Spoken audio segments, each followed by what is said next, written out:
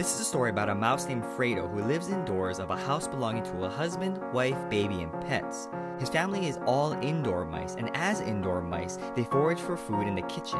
One day, Fredle and another mouse eat a peppermint patty and they both become ill.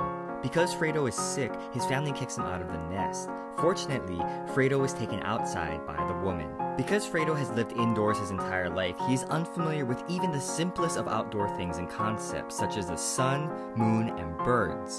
The outdoor mice tell Fredle where he can get food, and so Fredle begins the life of an outdoor mouse. However, he gets taken away by a pack of raccoons. The raccoons plan on eating him, but decide to feed him first. Fredle tries to escape, but he realizes that he has no sense of direction.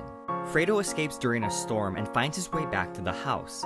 He enters the cellar and is greeted by the cellar mice, mice who have plenty of food and hardly any predators. Fredle is tempted to stay in the cellar, but he wants to go home. He goes home and his family is surprised to see him. In the end, he takes some of the indoor mice outside to live. One of the most interesting insights that this story offers is how the same species of animals views others differently based on where they live.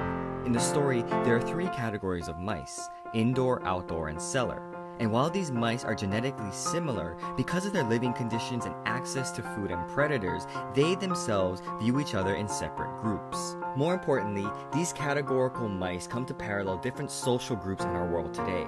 The indoor mice are the middle class who struggle to make it by each day.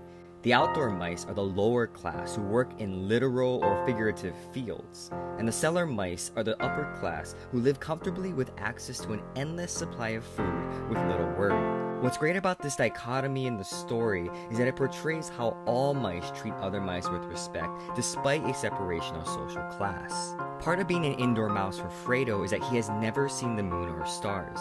These symbols not just signify night, but represent experiences and sights that are absent from one's life. There is a moment when Fredle is questioning whether or not he should stay in the cellar and enjoy the luxuries of food and hardly any predators.